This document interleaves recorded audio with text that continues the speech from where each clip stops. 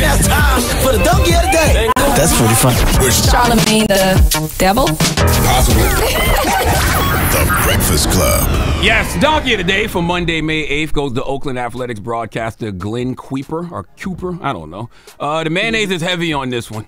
Glenn was suspended Saturday and will remain off the air because during Friday's pregame show, he was trying to tell the audience that he had visited Kansas City's Negro League Baseball Museum, but he didn't say Negro. Let's listen.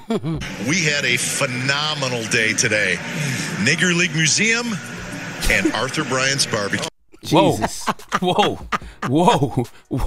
The, the hilarious thing about this is his co-host that was next to him didn't flinch at all. Nope. Mr. Co-host, you're supposed to be like Draymond Green's son and hold him accountable for the nonsense coming out of his mouth, but no, you just went with it. And now Glenn, rightfully so, has been suspended until a review of his on-air racial slur is complete. Complete. Okay, uh, nothing to review there, folks. All right, that was the N-word with the ER. That man has said that word so much that he didn't even think twice about it when he said it. In his mind, there is no other word that starts with N that applies to black people other than the N word. Heavy on the ER. Not Negro, not neighbor, not Nutella, just okay?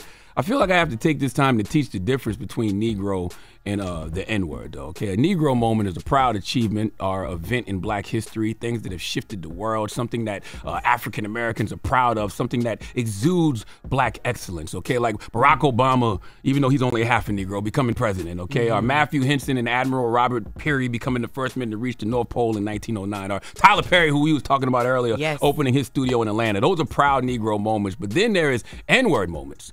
The great urban philosopher Huey Freeman told us what a Negro, uh, a N-word moment was on season two, episode 11 of the classic show, The Boondocks. Listen. Webster defines the nigger moment as a moment when ignorance overwhelms the mind of an otherwise logical Negro male, causing him to act in an illogical, self-destructive manner, i.e., like a nigger. So now that we know the difference between Negro and the N-word, it got me to thinking. Just to play white devil's advocate here, what if there was an N-word league museum? What would be in it? We have our guest co-host Jess Hilarious in the building. She is an expert of all things niggotry. Uh, Jess, my God. Jess, if there was an N-word league museum, what would some of the exhibits be? The niggas.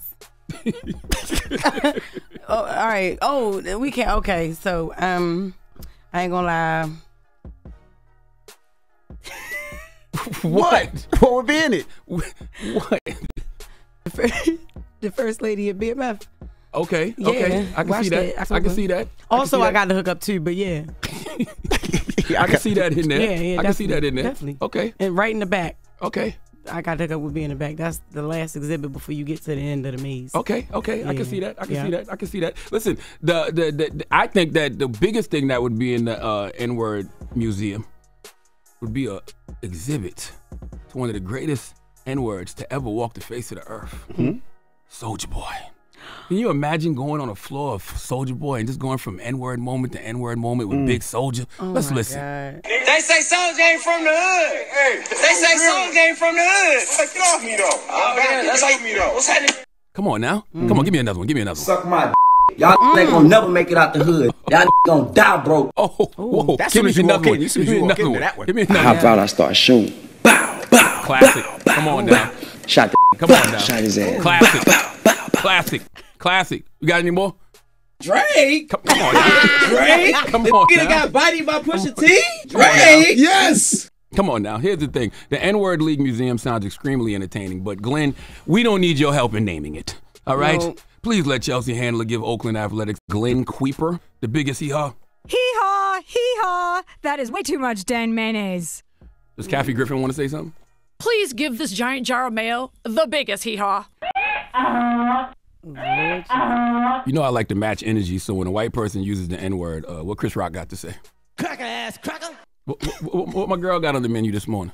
Cracker. Okay. Oh my god, y'all are crazy. Oh, we crazy now. Yeah, yeah, y'all crazy.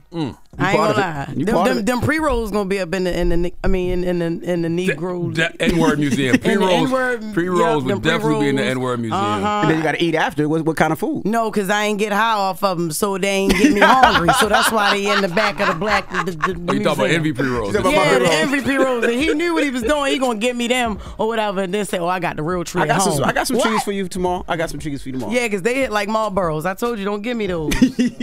All right. All right. What about a black and mild twisted sweet exhibit? Ooh, yes, all day. That's in there. What is it giving? Vape, what's going on? Hello? Popeyes, what's up?